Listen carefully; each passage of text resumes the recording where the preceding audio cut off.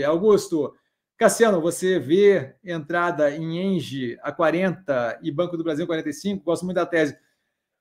Eu, eu não vejo como problemático, porque ainda tem algum espaço para dar, tá? tem algum espaço para render, mas eu não acho que é a alocação mais arrojada que tem. Tá? Então, assim, vejo como problema? Não. Vejo derretimento acontecendo ali? Não, não vejo. Vejo bastante estabilidade no preço das duas. Porém, entretanto, todavia, se eu estou alocando e a ideia é olhar o lugar onde meu dinheiro tem mais para render, não acho que aí é o local, certo? É, mas tenho posição nas duas e acho que tem um espaço para subir. Se para você é, rola um interesse grande de estar no ativo, eu não vejo como problema, não vejo como problema nenhum.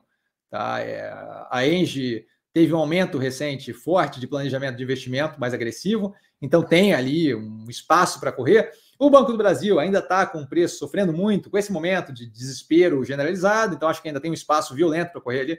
Não vejo dificuldade do Banco do Brasil em 55, então tem ali um ganho considerável de, de, de, alguns por cento ali na brincadeira, uns 20%, pelo menos, tá? É, mas, mas volto a reforçar, assim, é,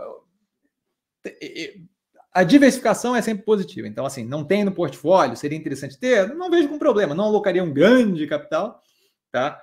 e levaria em consideração o quê?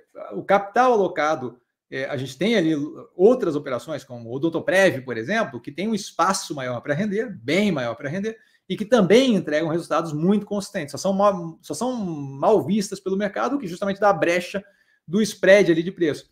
Tá? Mas não vejo como problema, não vejo como problema.